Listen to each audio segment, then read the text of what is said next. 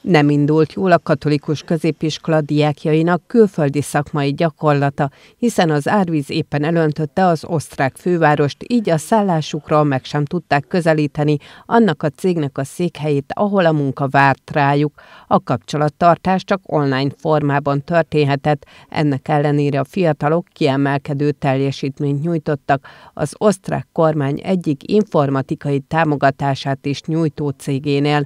A diákok komolyan vették feladatukat olyannyira, hogy valamennyien munkáltatói ajánlásban részesültek a gyakorlat végén. Cégvezető úr teljes megdöbbenéssel, meglepődéssel állt a munkához való hozzáállásukhoz, az alapjaik stabilitásához, és ahhoz a fajta kreativitáshoz, amivel mindent képesek voltak megoldani.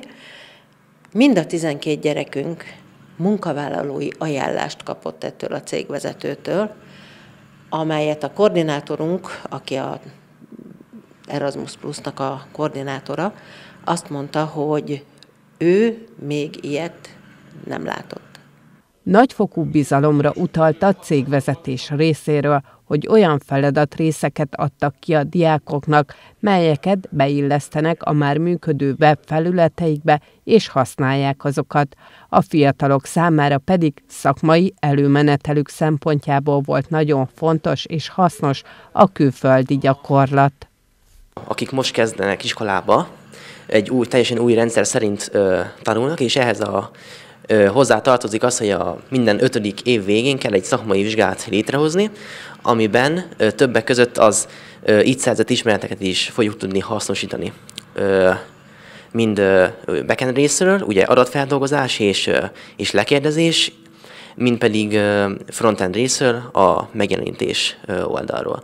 A programozás nyelvtérem ismerte meg a PHP nemzetű programozást, ahol tudtam szerezni tapasztalatot, emellett még a Steam framework belül is tudtam szerezni tapasztalatot. Nagyon nagy előnyünk lesz még ebből, én úgy gondolom, mint főleg azért, mivel angolul kellett ezt csinálnunk. Ez nyelvügyileg is egy óriási nagy előnyt jelent, tapasztalatot számunkra.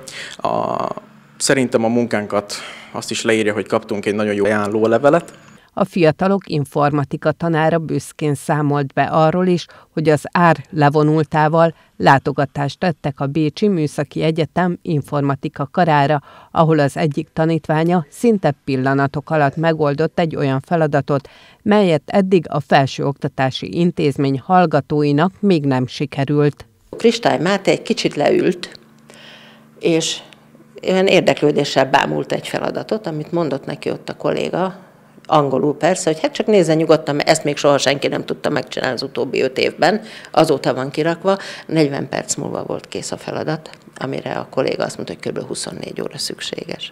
A diákok sikeres, élménydús és nem utolsó sorban jövőjük megalapozásában jelentős szerepet betöltő két hetet töltöttek Bécsben, tette hozzá a pedagógus.